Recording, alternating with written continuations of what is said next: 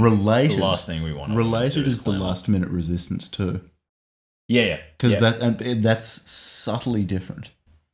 Because similarly, Yes. it'll be you know you think you're about to have sex with her, Yeah. and then she says no, we should stop.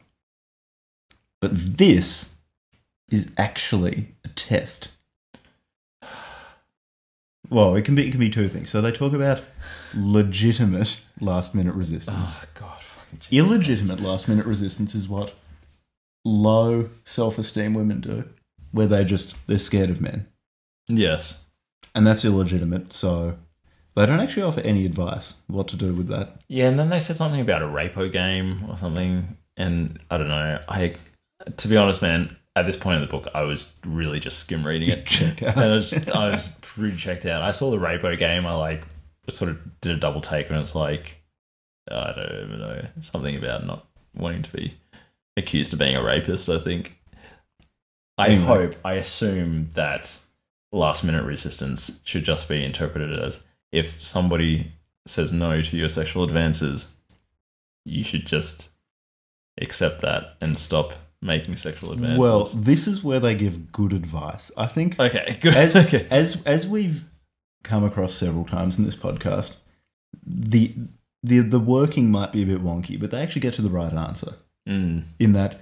So with with legitimate last minute resistance okay. for high self esteem women, they're back, they're testing you still.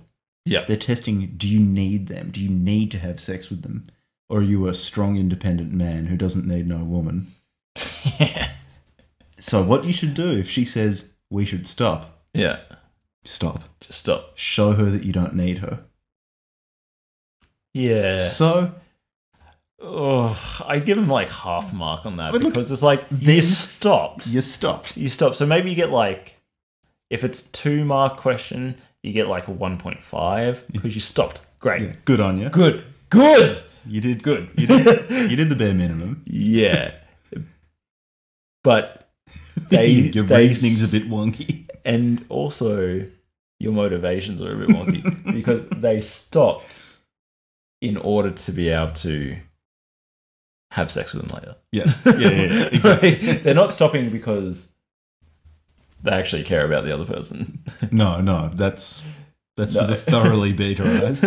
they're stopping because no, I need to demonstrate that I'm Play- an alpha play it cool. When she says that I don't need her, she'll fuck me anyway. James Bond. She's gonna be all slobbering all over my dick in half a minute Mm-hmm. if I say no now.